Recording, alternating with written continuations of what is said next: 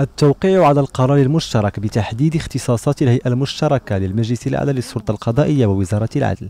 يأتي ليساهم في ترسيخ الممارسة الديمقراطية ويقوي التنسيق في مجال الإدارة القضائية.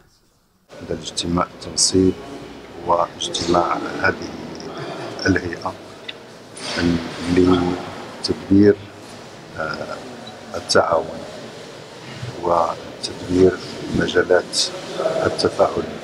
المشترك خلال هذه المرحلة الجديدة بما يخدم أولا استقلالية السلطة القضائية والتي نحن جميعا معبؤون لدعمها.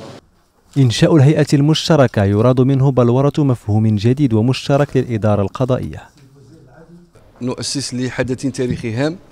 آه هذه السنة سنة آه تأسيس السلطة القضائية سنة تنصيب سيد وكيل العام رئيس النيابة العامة وبطبيعة الحال هذه السنة كان لابد من استكمال الخطوة الثالثة وهي التأسيس لهذه الهيئة المشتركة ما بين وزارة العدل والسلطة القضائية تجسيدا لمبدأ دستوري ثابت وهو أن هناك فصل ما بين السلطات وهناك توازن وتعاون ما بين السلطات.